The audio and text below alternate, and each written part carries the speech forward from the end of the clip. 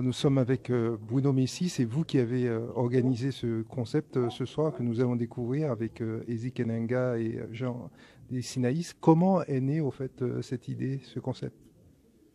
Bah, Tout simplement parce que ce qui était intéressant, c'est que bah, je m'occupe de l'Isinaïs depuis deux ans maintenant et qu'on avait l'occasion de rencontrer régulièrement Izzy à droite, à gauche sur les scènes euh, de par le monde, j'allais dire, et puis que j'avais très sympathisé avec euh, notre ami Mousse, euh, le manager. Et puis un jour, bah, tout simplement en juillet, on allait faire une date en Martinique et on était passé quelques temps avant et je dis à l'organisateur, on pourrait peut-être faire quelque chose un peu original et je lui ai dit, écoute, je vais appeler Izzy si ça te branche, voilà. Et là, ah c'est génial, c'est une bonne idée. Et puis comme ça faisait un moment que ça nous trottait dans la tête, on a fait un one shot en Martinique. Quand j'ai vu le succès en trois jours, c'était bourré partout.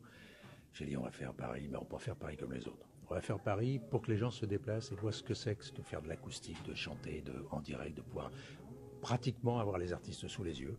Et là, bah, on ne s'est pas planté parce que bah, on fait six concerts, ou six concerts, beaucoup de monde, euh, et sur lequel une formidable rencontre musicale avec un échange au niveau des répertoires qui est magique. Pour ceux qui étaient là, ils me comprendront. Et ceux qui n'étaient pas là, il faudra venir. Visiblement, vous êtes très satisfait du résultat.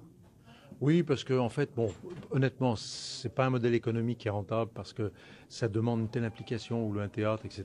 Bon voilà, et puis on fait des places à des prix euh, euh, tout à fait raisonnables ce qui permet justement à tout à chacun de pouvoir venir, les couples, les familles, etc.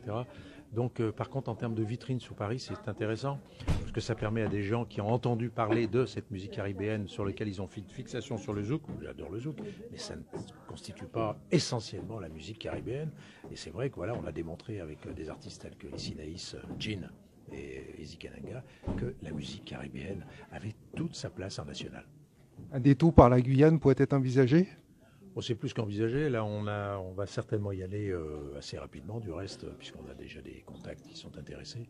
Et puis nos amis guyanais, euh, ils nous manquent parce que ça fait un moment qu'on y a prêté. Et mais c'est aussi pleurer par moment. Si tu me lis, c'est donc que j'ai confiance. Des sentiments pas si embarrassants. Sur nous, je mise, qu'importe le reste. J'incarnerai tous les plus beaux instants. Alors, nous sommes avec euh, Ezi Kenenga et euh, Jean Lissinaïs. Est-ce que ça a été euh, facile pour vous euh, de vous accorder dans la mesure où vous venez euh, d'univers musicaux légèrement différents, on va dire? Ben plutôt non, hein, ça avait plutôt ça a plutôt l'air d'une évidence. La différence est assez légère. Quand on a des univers assez similaires, ça a été plutôt très simple de s'accorder et de se mettre d'accord.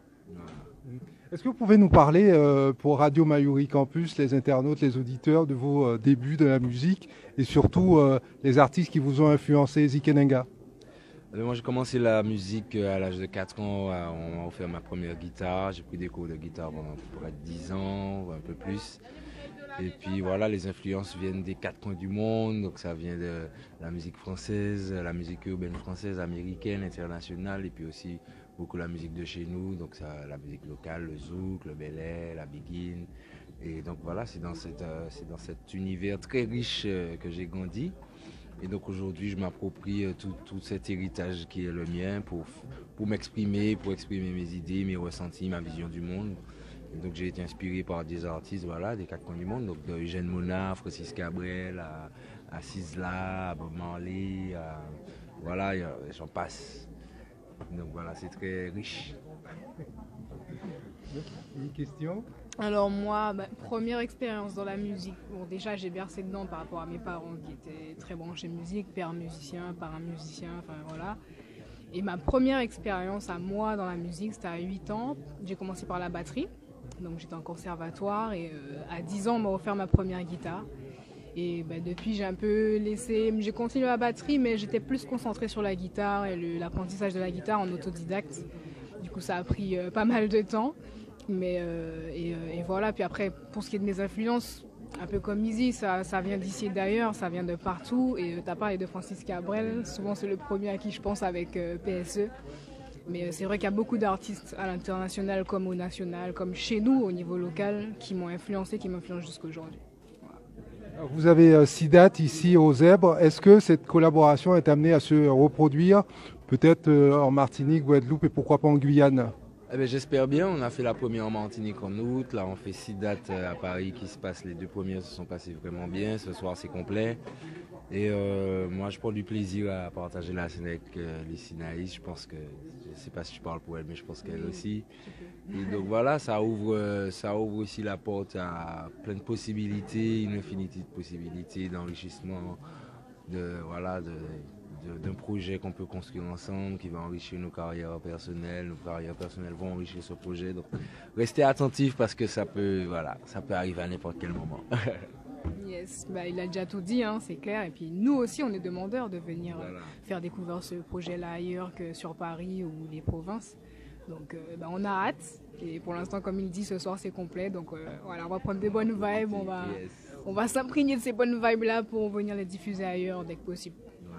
Ce sera ma dernière question. Euh, nos jeunes sont euh, touchés par euh, le suicide, le chômage, l'exode également vers la métropole. Vous, visiblement, vous avez trouvé vos voies.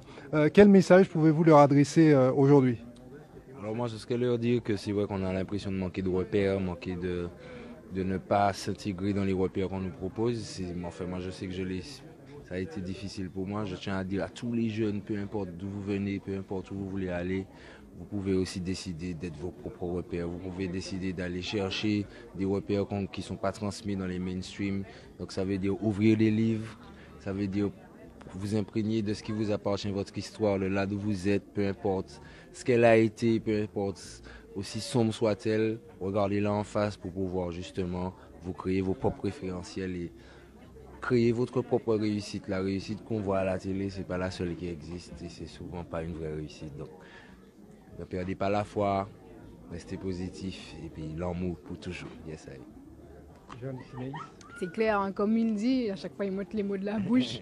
C'est ouais, c'est sortir des sentiers battus et comme nous-mêmes en fait, on a créé nos propres voies dès qu'on a bien compris que il n'y avait pas grand-chose qui nous correspondait. Il y a des cases toutes faites, il y a des, il y a des travaux qui sont déjà menés, il y a des, des combats qui sont déjà menés par d'autres personnes et ce ne sont pas forcément les nôtres. Donc en fait, on a tous un combat qui nous est propre et faut juste suivre sa voix et se, laisser, se laisser porter en fait.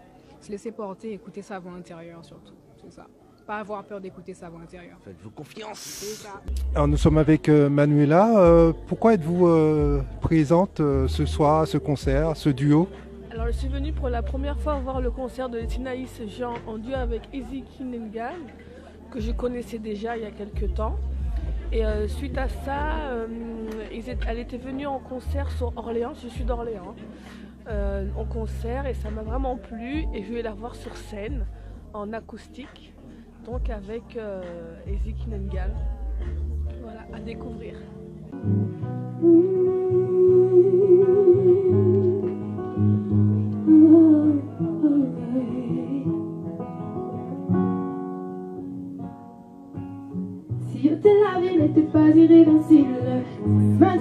Et tu aurais été sensible. Et bien évidemment, d'un baiser sur tes lèvres, elle te rendra la vie que tu lui vendurais.